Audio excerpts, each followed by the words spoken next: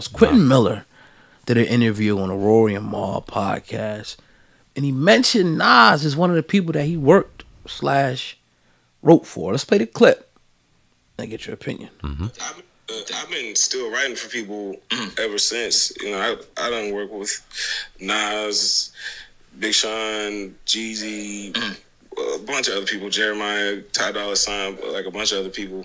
Um, I've been still writing for people mm. ever since. You know, I You gotta I play that twice. That's like crazy. Nas, mm. Big Sean, Jeezy, mm. a bunch of other people, Jeremiah, Ty Dolla Sign, like a bunch of other people. Um, So let's stop it there. Quentin Miller. I mean, this has caused a lot of controversy. And I had a lot of people saying, oh, he may have wrote some hooks for him.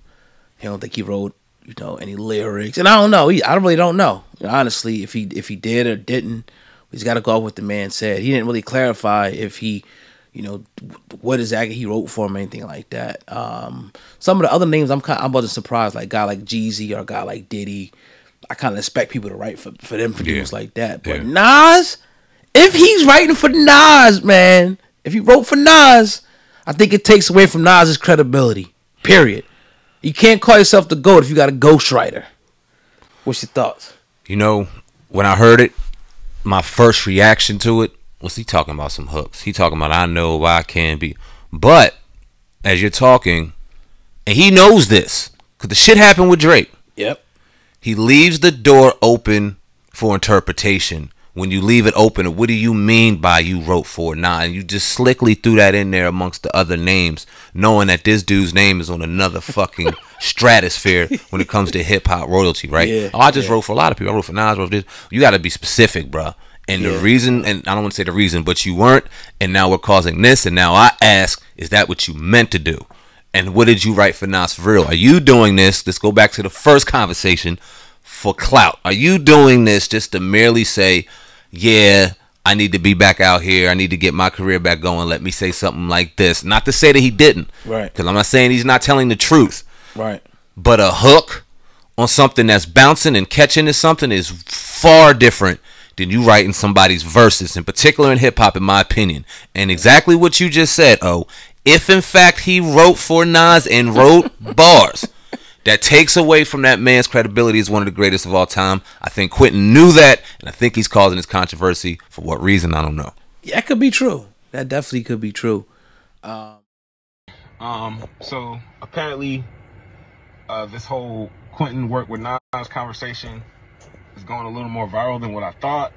Because now, you know, people are reaching out to me, asking me to clear it up.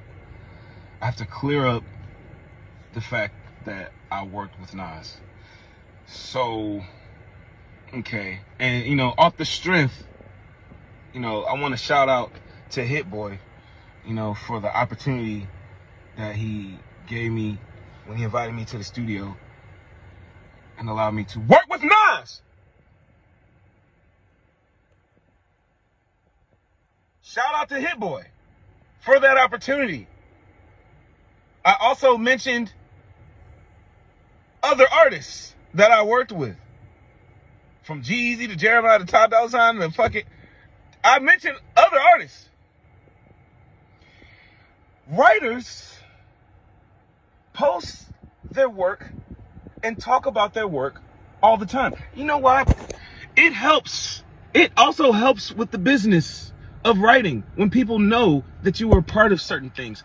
It makes people more prone to work with you, you know?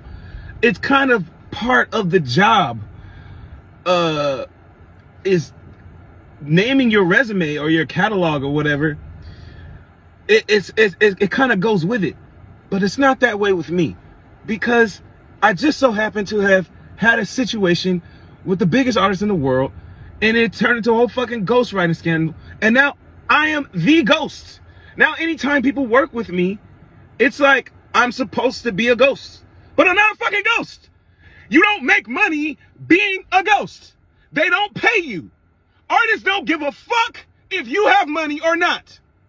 They do not pay you. So if you don't get paid, and you can't even get the clout from being a part of this shit to get opportunities to get paid, why would I want to be a fucking ghost? Let me say this right now. Quentin Miller. Quentin Miller is not a ghostwriter. And I want all the artists out. I don't give a fuck if I never work with another artist again. I don't care. I do not care because I hate the fucking business. I am not a ghostwriter. If you work with Quentin Miller, you worked with Quentin Miller. And you better be okay with saying that you work with Quentin Miller. Now, when it comes to the Nas situation, I was just I pulled up on Hit Boy. That was a, a situation with Hit Boy. I'm in the room. I bounce some ideas out. There we go. Clear it up. I just bounced some ideas. Couple ideas went. That's that's it. That's all that happened with the Nas shit. But I am not a fucking ghost. I am not a ghost.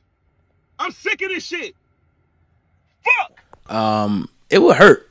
That would hurt me if I found out he wrote some shit for Nas. You. Like, my- You. like, look at the camera gets stuck. Fucking camera always gets stuck. But nah, man, yeah, that that would definitely hurt me. Cause when you think about guys like Jay Z, you think about you know some of the greats. You already know. Like now, even with Jay Z, I'm sure Kanye wrote some of the hooks mm-hmm. for certain things. Certain people wrote certain hooks for certain things. But to write them lyrics, like what if you wrote, you know, one of Nas's? Not to say that he did. What if he wrote, you know, Ether or you know one of those type of things? I think that takes away you know, you like I said, you can't call yourself the goat when you got ghostwriters. Ghostwriters of, of verses. May people may disagree with that, but mm-hmm. my thing is, this is what you do, dog. Like you're in the studio, you're getting paid millions of dollars. This is your craft. You fucking better perfect it. Now I, I don't have I don't see nothing wrong with people coming in and giving you like if we in here vibing together and he got something, yo, this is hot. I don't mm-hmm. see nothing wrong with it, but I can't be the best.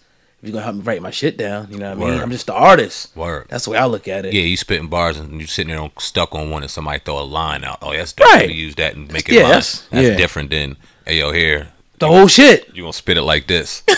or you gonna repeat what I just spit in the studio because I just did it for two hours and now you just gonna repeat what I did. That's what R&B singers do. That's what Chris Brown does. Yeah, yeah. And that's why he's one of the greatest entertainers of all time. Some of these rappers are entertainers. Diddy's an entertainer.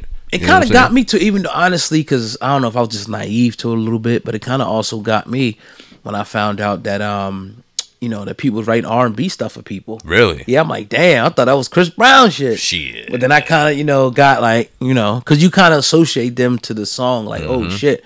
But then I got kind of like, okay, it's cool. Because even like uh, a couple of Usher joints, like Ne-Yo wrote Yep. one of the joints and stuff like that. So it's not, it's not really that big of a deal. But I, I don't know, man. I, I I can't really see him writing Nas's verses though. Me neither. I And- think